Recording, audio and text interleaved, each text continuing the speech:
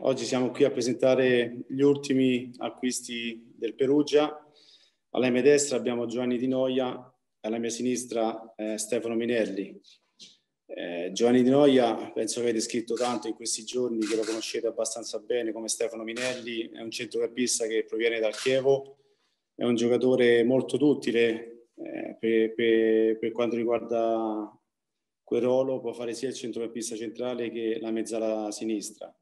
Il curriculum eh, parla da sé, è un giocatore che ha fatto categorie importanti e siamo contenti di averlo a nostra disposizione.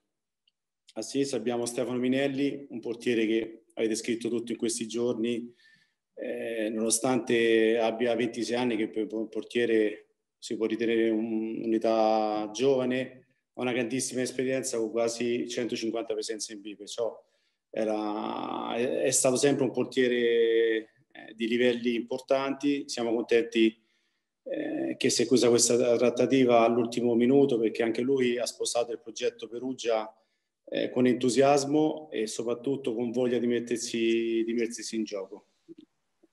Lascio la parola a loro. Francesca Mincacci, La Nazione, volevo fare una domanda di Noia. Volevo chiederti, ehm, avevi lasciato la Serie C da qualche anno per giocare in Serie B, come mai la scelta di, di ripartire da, da, da, Perugia e appunto dalla Serie C? Grazie mille. Allora, ho deciso di venire a Perugia per rimettermi in gioco e anche perché Perugia è una piazza che non ha nulla a che fare con, con questa categoria. Quindi sono venuto qua con tanta voglia di riportare il Perugia dove merita e speriamo alla fine di riuscirci. Buongiorno ad entrambi, sono Carlo Forciniti del Corriere dell'Umbria e chiedo a tutti e due cosa vi ha colpito di più di questi primi giorni del Perugia e anche nello specifico cosa vi ha chiesto Caserta in queste prime sessioni di allenamento. Grazie. Oh, buongiorno a tutti. Eh, quello che, che mi ha colpito più di tutto è il gioco che, che ci chiede il mister.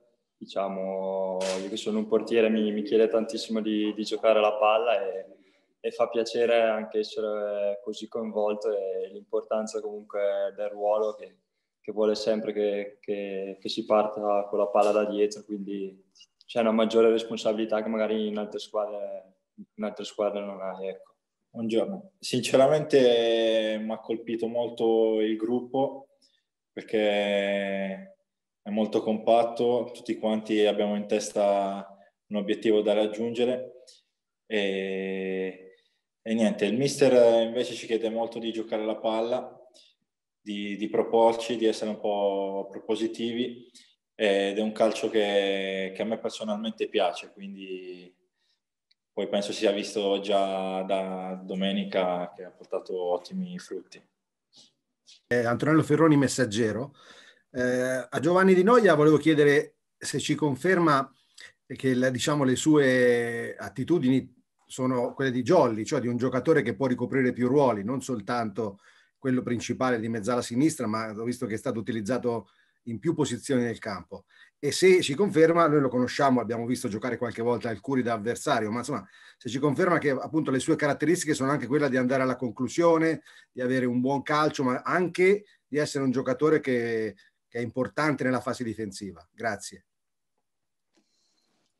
Sì, eh, diciamo che mi ha dato un po' a diversi ruoli, quindi riesco a ricoprire anche il ruolo di terzino, anche d'esterno a sinistra e diciamo che sono abbastanza duttile. Poi nelle mie caratteristiche c'è l'inserimento e, e ovviamente cerco la conclusione appena, appena un po' di spazio. Buongiorno Daniele Orlandi, Tifo Grifo, Agenzia Stampa Italia.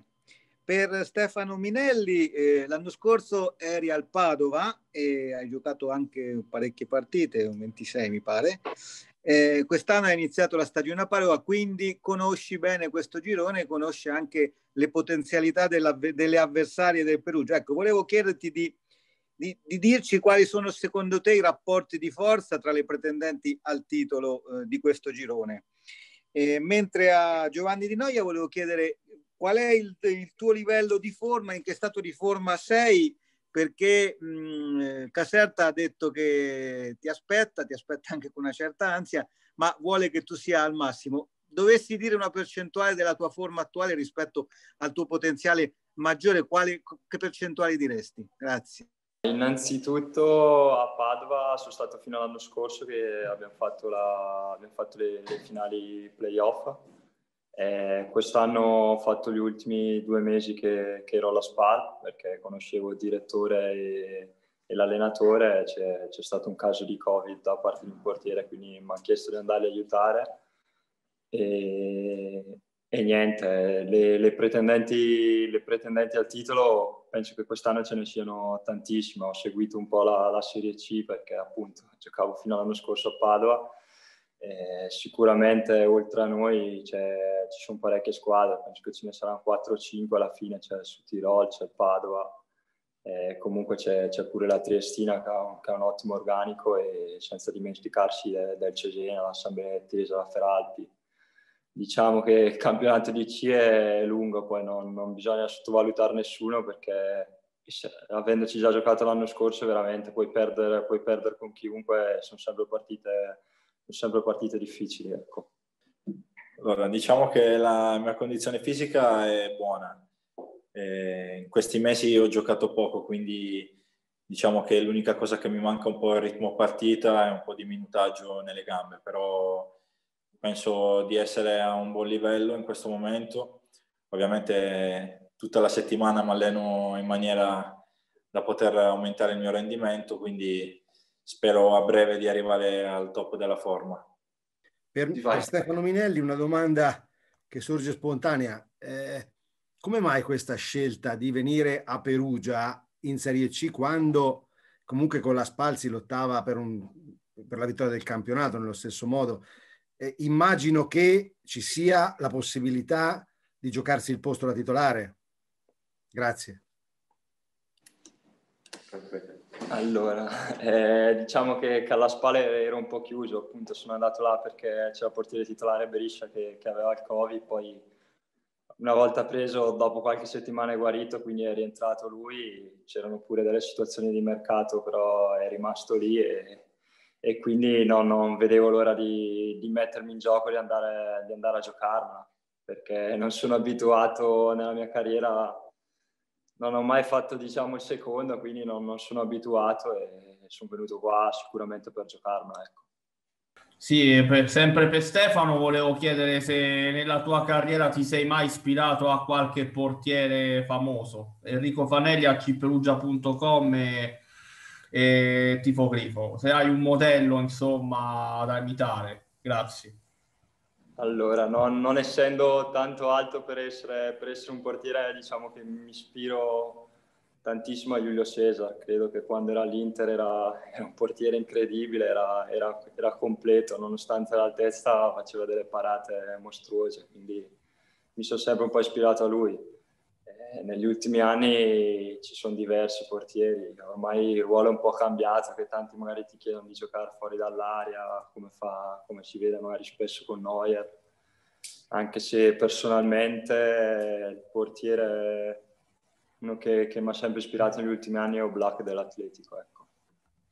Allora anche a Giovanni Di Noia chiediamo la stessa cosa, cioè se c'è un giocatore a cui si ispira, eh, quali sono i suoi, i suoi modelli, insomma, grazie.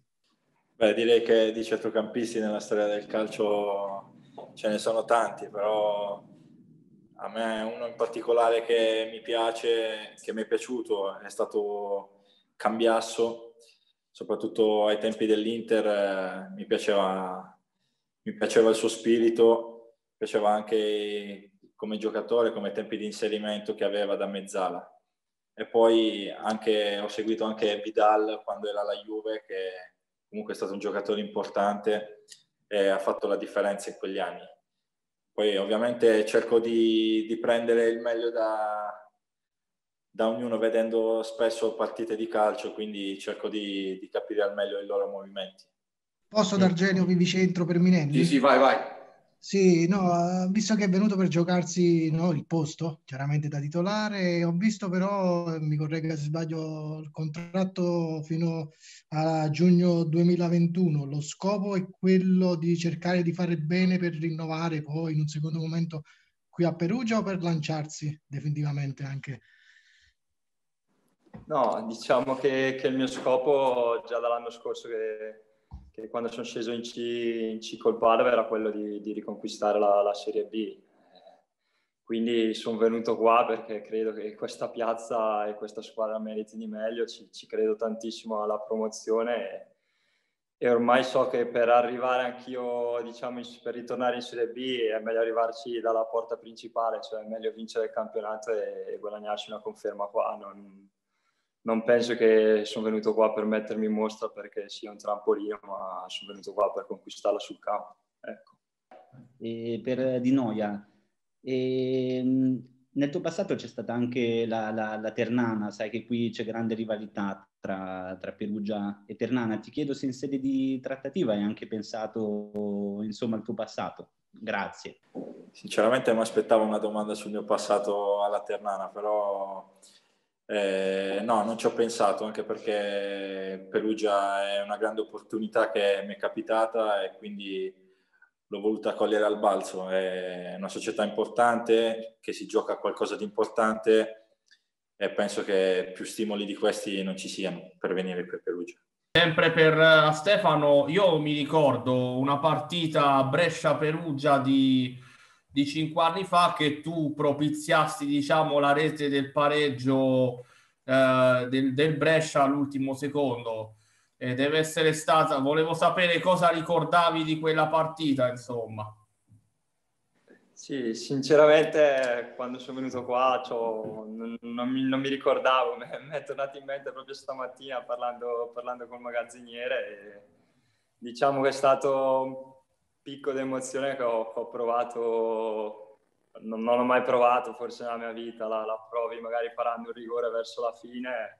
Diciamo che per un portiere non è, non è, proprio, non è proprio abituale salire agli ultimi secondi. E, vabbè, ero a Brescia, ero bresciano, quindi è stata, è stata una gioia incredibile. Ecco. penso che una cosa così ti capita una volta su mille. Ecco anche se è stato l'assist, spero che prima o poi magari ci scappi pure il gol, ecco. Portiere e mezzala, se non sbaglio, entrambi mancini? Confermate? Sì, sì, sì, sì confermo. Curiosità, eh, non capita spesso neanche questo.